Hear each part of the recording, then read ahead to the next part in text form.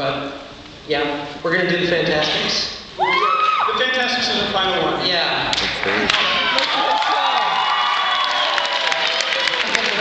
They do the whole thing. Well, the thing is, we had parts of all different shows sprinkled in because we knew we were under time constraints. So sorry if your show wasn't specifically featured because you were totally alluded to. So don't even worry